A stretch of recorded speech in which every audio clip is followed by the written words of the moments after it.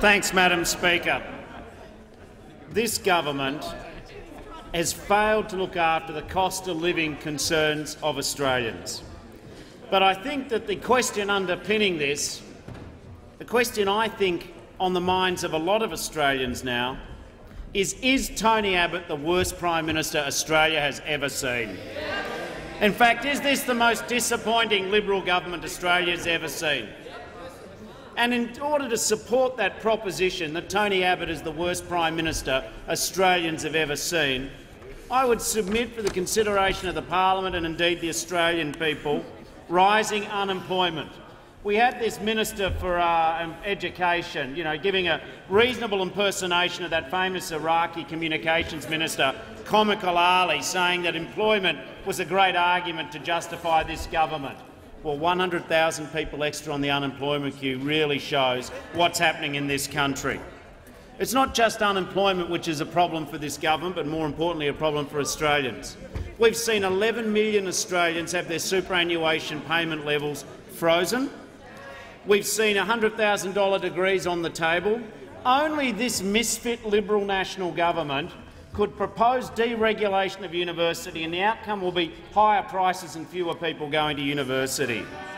We've seen them say that they're going to be the government for Indigenous Australians, but they've cut half a billion dollars in funding, including very important funding in terms of community legal aid. And Australia has one of the most shameful rates of Indigenous incarceration.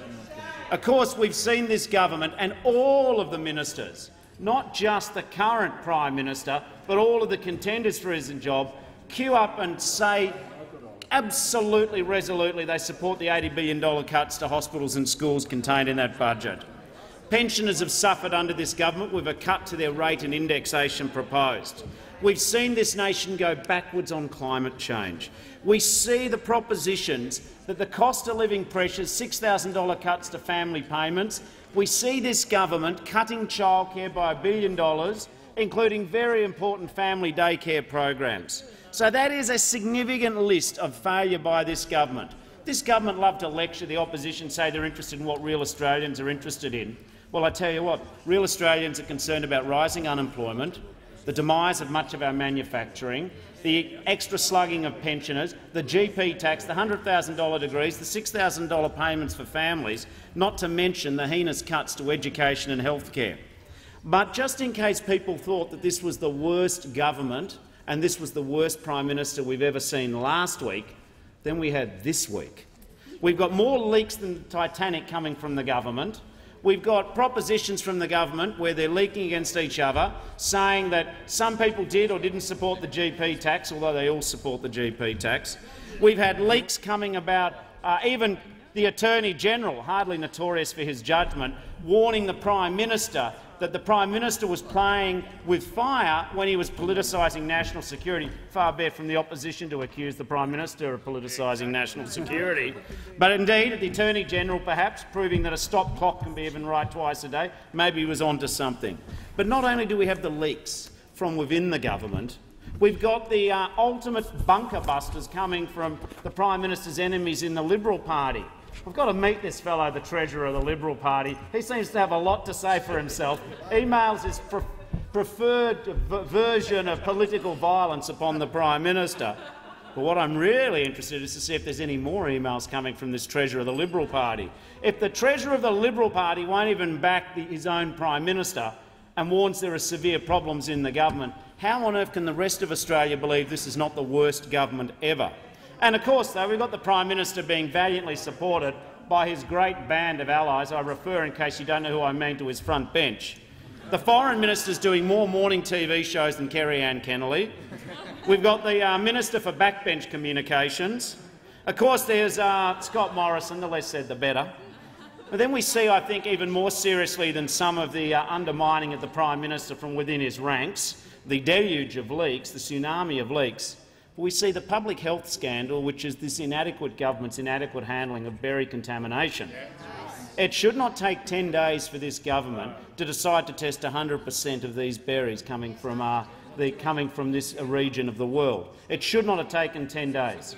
Twice we've asked the Prime Minister this week in question time, since he's apparently got his finger on the pulse of what's going on in Australia. We said to him, we said to him, how many Australians have been exposed to contaminated berries? How many? He doesn't know.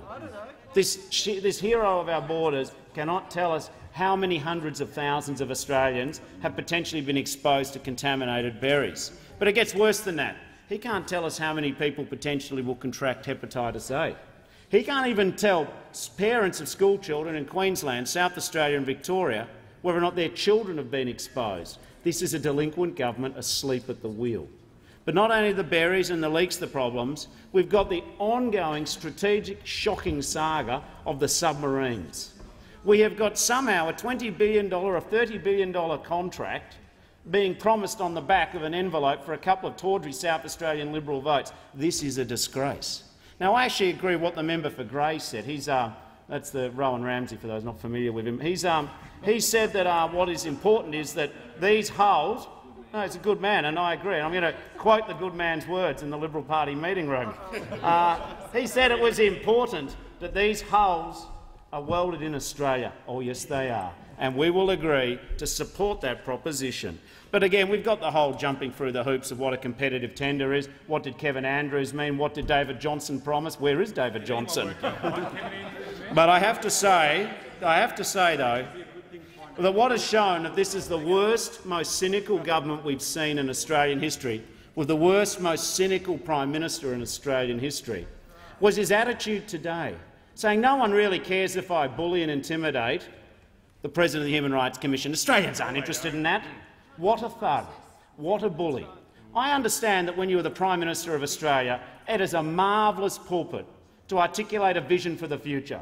It is a great opportunity to lead this nation in the necessary debates it has. But it is not a pulpit for bullies. It is not a pulpit to intimidate and harass and put undue pressure on an independent statutory office holder. Those pictures yesterday told a thousand words. The pictures of Gillian Triggs, independent President of the Human Rights Tribunal, President of the Human Rights Tribunal, sitting two people down from her assassin, her boss in one way, the Attorney General George Brandis.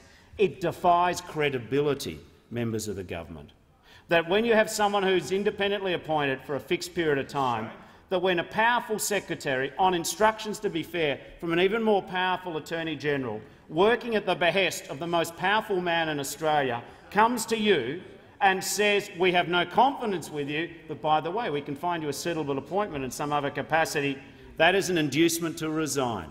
That is a most inappropriate form of conduct. And sure, this cynical government can say we don't care and it doesn't matter and no one cares. And when you're in trouble, you know, break glass and bring out comical Ali, Christopher Pyne, to have a crack. The truth of the matter is it is much more serious. We understand that we must support our independent statutory office holders. Which judge is next? Who is next going to feel the weight of Tony Abbott's anger and wrath? What on earth did Gillian Triggs, Professor Gillian Triggs, respected jurist, respected President of the Human Rights Commission do to deserve an outlandish attack from this Prime Minister?